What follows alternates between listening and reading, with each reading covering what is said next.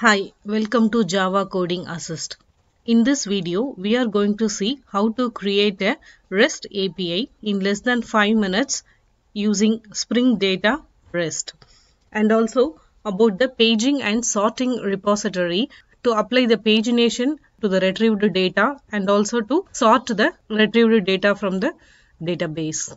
Let's create a new Spring Boot application with all these dependencies. Spring Web, Spring Data JPA for database access and a H2 database. This is an embedded in-memory database. And finally, the REST repositories. Spring Data REST. I have imported that sample Spring Boot application into Eclipse. Now we are going to create a resource called user and see how to create the REST endpoints that is a REST API for this resource user. First we have to create the domain object user. Here is the domain object. It has four fields user ID, user name, password and role. We are going to create the REST API for this resource user. So our domain object is ready now. We have to next create the repository using the Spring Data JPA. This is a JPA repository to access the data from the database. The Spring automatically creates a concrete implementation for this repository in order to talk to the database the backend and we have defined one custom query which returns the user by its user name. Now we have to add Spring Data REST on the top of this Spring Data JPA to create the RESTful front end. For this, we need to add the annotation repository REST resource. This annotation adds Spring Data REST on the top of Spring Data JPA. And we can set some fields to uniquely identify the resource. The first one is the path. This is a path that is used to access the resource. The resource will be available in this path users and collection resource. This users keyword is used to identify the entire collection and this user is used to identify the individual user. Individual item in the collection is identified using this user. On adding this repository REST resource, Spring Data REST will automatically create the controllers which receives the request to serve the resources and also the JSON converters to parse the data and it also connects itself with the Spring Data JPA in order to talk to the backend. The Spring Data REST automatically creates all these things in order to create a RESTful front end. So this is the beauty of using Spring Data REST. It helps us to create a RESTful API with a minimum lines of code. And we have defined one custom query which returns an user when given a user name. This can be annotated with at REST resource. Now we are done with creating a REST API code. Let's run this application and see how it works. The application is running. Let's use Postman to test the application. The application is running at port 8080 and users is the path to access that resource which we have given in the annotation. It's the same path which we have given here. I send this get request. It returns all the users from the database. If we see the response, we can see that users. This is the users keyword which is used to identify the collection and it has a array of users. This object represents one user and this object represents another user. This is a users collection and it contains a, an array of users. So this represents an user object. The username password, role and these two links are created by the Spring Data REST. Both the links are used to identify each user uniquely. Towards the end of that information, you will find some links that are created by the Spring Data REST. The first one is the self, which has a link to itself and the second one is profile. This profile links gives information about the user objects metadata. If we click this link, we will get the metadata about this user's object. So it has a username and it has a password a role. It also gives information about the various operations that can be done with the user's object. The first one is the create users which saves the user into a database. The second one is get users which retrieves the users from the database. And the third one is delete user, update user, patch user and get user which returns a single user. And the finally the last one is the find by username which is a custom query that is defined by us. And the final one is a search link which is used to search an user resource. This link is used to search a user from the database. So this is the actual path. And after this we have to use the method by which we want to find an user.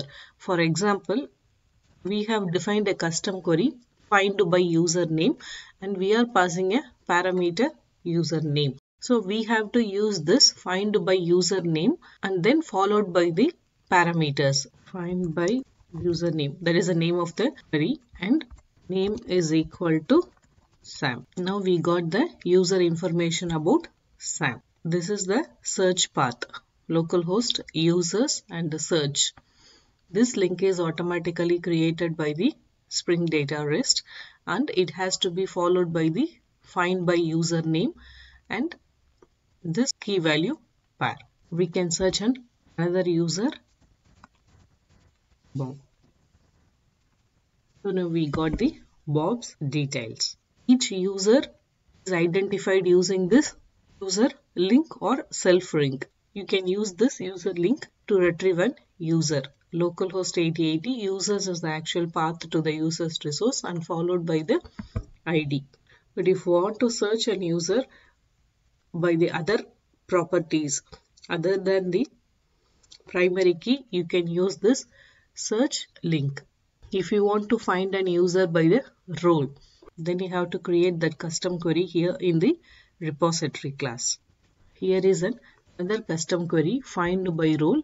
Parameter we pass is the role. This role is going to return a list of users from the database.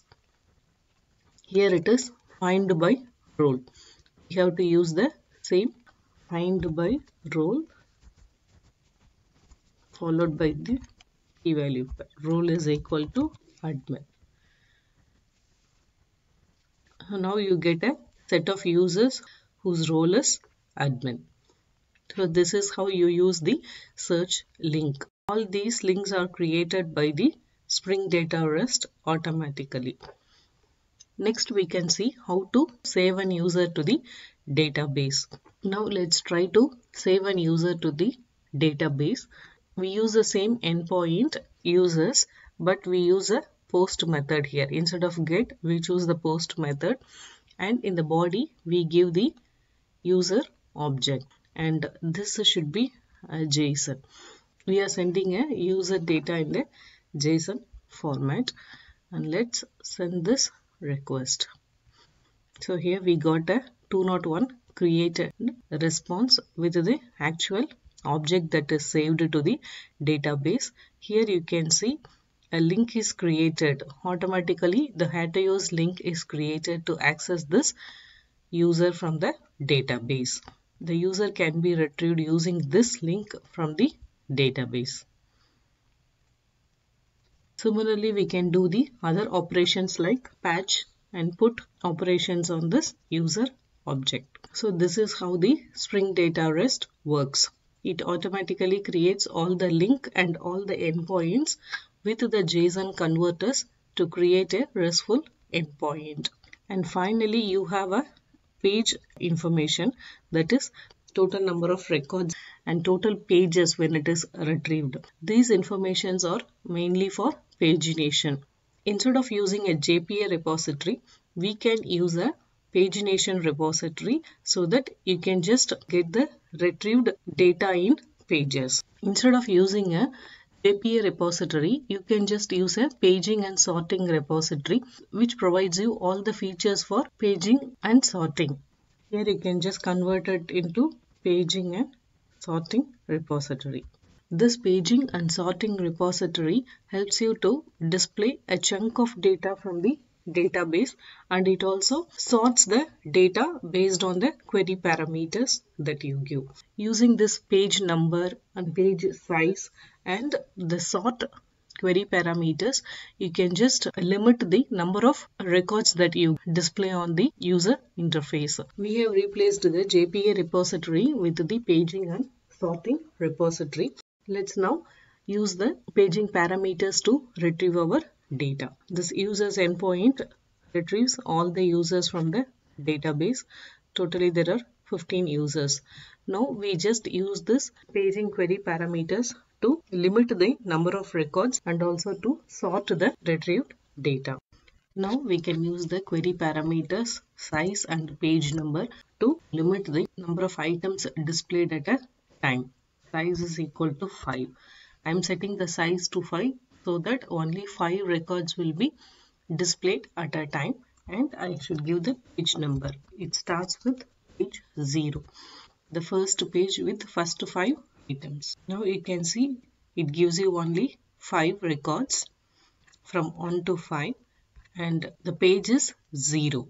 Now if you want the next set of records you can just set the page to 1 now you get the next five records if you see here the page information there are totally 15 elements so you get three pages and page 2 gives you the last set of records now you can also add the sort parameter to sort the data sort is equal to you have to give the field name on which the data has to be sorted first i will give the user name and page is equal to 0. Now you can see the data is sorted based on the user name. You can just see the name is Ava and it has a different user ID 7, 8, then 5, 11, 13. So the user data is sorted based on the user name. You can just change this to role. Now it is sorted based on the role. First you get all the users with the admin roles. And this is all about paging and sorting repository with Spring Data REST. And this is how we can use Spring Data REST to create a REST API in very less time. Let me know your thoughts in the comments. Thanks for watching.